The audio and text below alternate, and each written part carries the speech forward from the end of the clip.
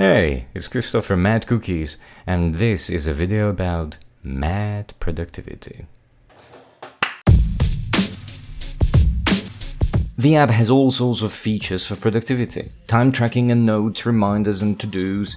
These all help with getting your tasks done and ideas saved.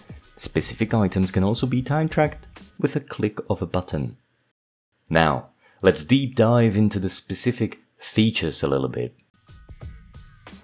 Dashboard view allows you to see the time and read a cringy quote from yours truly. Time tracking is the place where you can track items. Notes will allow you to jot down all your ideas. Reminders are there so that you don't forget about all that important stuff. To-dos will help you organize your workload. And last but not least, the profile page lets you set your name and your title. Additionally, there's a button that looks like a question mark that will take you to a random view. This is meant to work as a nudge for when you're not sure what you should be doing next, so you can let the application itself inspire you.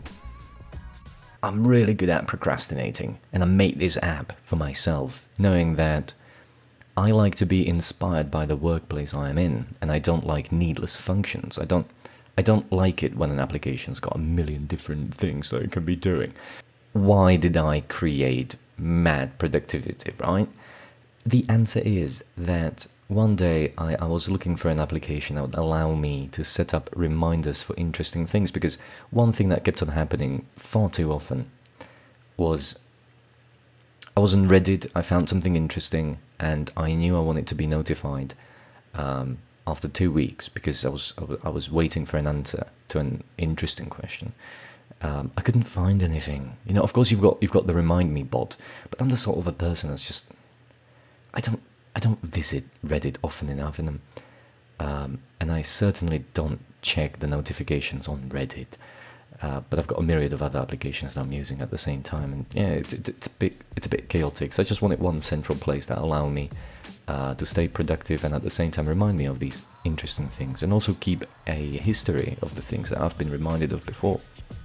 So the the entire reason why I created Mad Productivity was reminders. That's why it exists. And then when I started with the reminders, I was like, yeah, but yeah, it should have more than just reminders, shouldn't it? Um, so, um, so although it started with reminders, um, I actually implemented all the other functionality first because I thought reminders would be most complicated and they were. The application was made in Godot and it can be downloaded right now.